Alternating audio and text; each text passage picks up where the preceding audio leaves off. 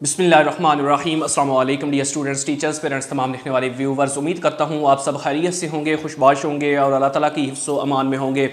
دو ہزار بائیس امتحانات جو تقریباً جو ہے وہ آنے جا رہے ہیں نیکسٹ ایئر کے اندر۔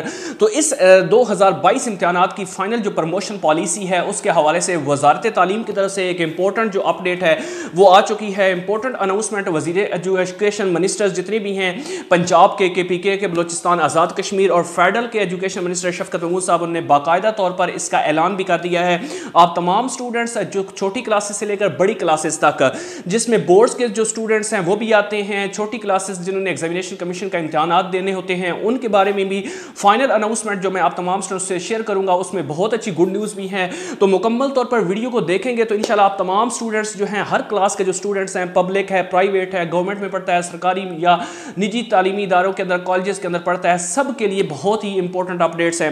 سٹارٹ سے لے کر اینڈ تک دیکھیے گا۔ اور اگر اس چینل پہ نیو ہیں تو آپ کو ویلکم کرتا ہوں۔ سبسکرائب نہیں کیا ہوا تو لازمی طور پر ہاں خان ٹیچنگ کو سبسکرائب کریں اور ساتھ جو بیل نوٹیفیکیشن ہے، اس کو کو ضرور آن کریں تاکہ آپ تمام دیکھنے والے ویورز کو ان فیوچر بھی اپڈیٹس جو ہیں ایجوکیشن کے ریلیٹڈ وہ ملتی رہے۔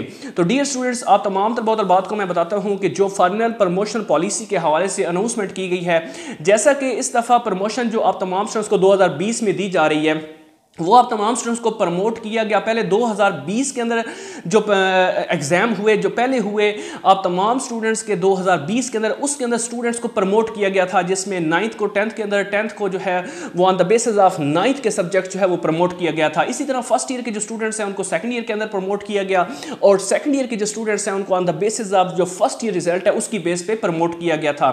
اور اسی طرح جو ہے پانچویں، آٹھویں کلاس کی جتنی بھی سٹوڈنٹس ہیں، ان کی بھی پرموشن جو ہے، وہ اپنے اسی کرائٹیریا کرونا سچویشن کی وجہ سے ہوئی تھی۔ ابھی جو ایجوکیشن منسٹرز نے uh, اناؤنسمنٹ کی ہے، جو بورڈز کی سٹوڈنٹس کی especially ninth and first year second year کے، ان کی بتاتا ہوں، پھر چھوٹی کلاسز کا بتاؤں گا، اس طرح یونیورسٹیز کالجز کے سٹوڈنٹس کا۔ جو نائنتھ اینڈ فرسٹ ایئر کے سٹوڈنٹس ہیں اور سیکنڈ ایئر کے سٹوڈنٹس ہیں، ان کے لیے امپورٹنٹ اناؤنسمنٹ یہ کی گئی ہے کہ اس دفعہ جو دو ہزار بائیس کے اندر آپ کی پروموشن پالیسی بنائی گئی ہے، وہ آپ کی uh, سبجیکٹس جو ہوں گے اوورال آپ تمام سٹوڈنٹس کے جو سبجیکٹس ہیں، ان سب کے جو ہے ایگزامس آپ کے دیں گے، لیکن آپ کے ایگزامس جو ہوں گے، وہ پانچویں مہینے میں یا چھٹے مہینے میں دونوں مہینے جو ہوں گے یہ میٹرک اور انٹر کے لیے رکھے گئے ہیں اور آپ تمام سٹوڈنٹس کا جو ایگزام لیا جائے گا وہ کمپلیٹ سلیبس میں سے لیا جائے گا۔ کمپلیٹ سلیبس کے اندر آپ کا جو پیپر پیٹرن ہے وہ فی الحال جو اناؤنسمنٹ انہوں نے کی ہے کہ ہم کوشش کر رہے ہیں کہ آپ کا جو پیپر پیٹرن ہے اس کے اندر آبجیکٹیو پورشن جو ہے اس کو زیادہ کیا جائے۔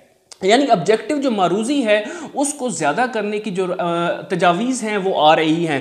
لیکن ابھی آپ تمام سٹوڈنٹس کو بورڈز کی طرف سے جو واضح ہدایات ہیں، وہ یہی آئی ہوئی ہیں اور جو ویب سائٹ کے اوپر بھی پڑی ہوئی ہیں، وہ پیرنگ سکیم وہی ہے جو آلریڈی پہلے چل رہی ہے۔ دو ہزار بائیس، اکیس کے اندر، اکیس کے اندر بھی اور دو ہزار بیس کے اندر بھی ایگزام ہوئے ہیں۔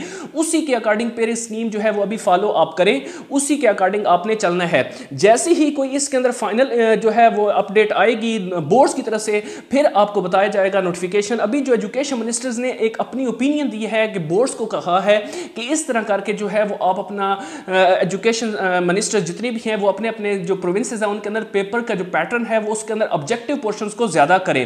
لیکن آپ اپنی پیرنگ سکیم کے اکارڈنگ تیاری کریں اور فل پیپر آپ کی پیپر ہونے ہیں. الیکٹیو سبجیکٹس کے نہیں ہونے کمپلسری الیکٹیو سبجیکٹس مکمل آپ کا پیپر ہوگا اور سمارٹ سلیبس بھی اس دفعہ جو ہے وہ ختم کر دیا گیا ہے. آپ کا مکمل جو سلیبس ہے اس کو رکھا گیا ہے اور پانچویں اور آٹھویں مہینے میں آپ کا جو ہے پانچویں مہینے میں اور چھٹے مہینے میں آپ کا ایگزام ہوگا۔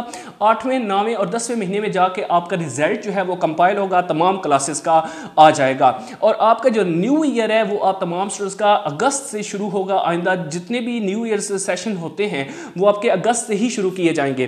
اس کے بعد جو چھوٹی کلاسز ہیں، ان کے لیے جو ہے ایک قرآن پاک کی ایڈیشن کی گئی ہے، اس کا پیپر ہوگا فائنل پیپر اور اس کے اندر آپ کے جو کمپلسری سبجیکٹ ہوگا، اس میں قرآن پاک کی تعلیم کو لازمی کرا دیا گیا ہے۔